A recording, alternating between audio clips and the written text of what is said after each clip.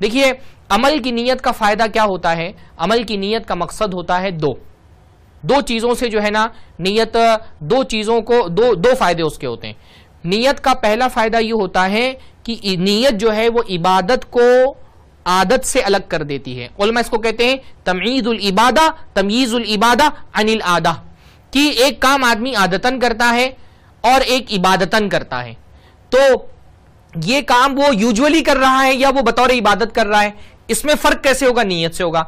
मसलन आप देखिए, हम लोग रोज नहाते हैं, कभी निजाफत के लिए नहाते हैं, कभी और मकसद से नहाते हैं। तो एक होता है कि आप जो है वो निजाफत के मकसद से नहा रहे हैं तो वो आदत है, आप आदत नहा रहे हैं। और एक नीयत ये हो जाती है कि मैं ये जो नहा रहा हूँ, वो हौसले जनाबत है, पाकि हासिल करने की नीयत से नहा रहा हूँ तो वो जो आदत है, वो इबादत बन जाती है।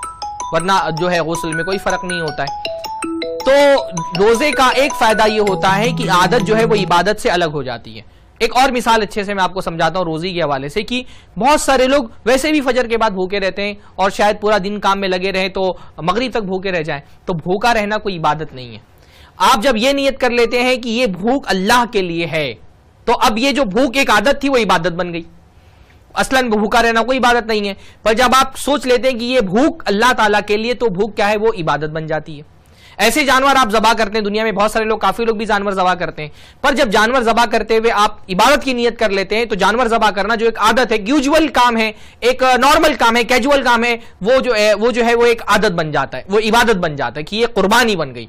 आप नियत नहीं करते तो वो जबा होती, आपने नियत कर लिया तो कुर्बानी बन गई। तो नियत का पहला फ़ायदा क्या होता है? आदत को, एक जो आदमी आदतन काम कर रहा है, उसको इबादत से अलग करना। तो आपने पहले तो इबादत की नियत कर ली कि ये जो मेरा भू, मेरी फजर के बाद जो मैं भूखा रहूँगा, ये बस ऐसे ही भूखा नहीं रह रहा, मैं यूजुअली भूखा नहीं रह रहा, मैं इबादत की नीयत से भूखा रह रहा हूँ, इबादत की नीयत है मेरी। तो पहले आपको क्या करना है? इबादत की नीयत। अच्छा अब इबादत भी एक दर्जे की नहीं होती, इबादत भी एक किस्म की नहीं होती, इबादत भी मुख्तलिफ़ अकसाम की होती है। तो नीयत का दूसरा क्या फ़ायदा होता है?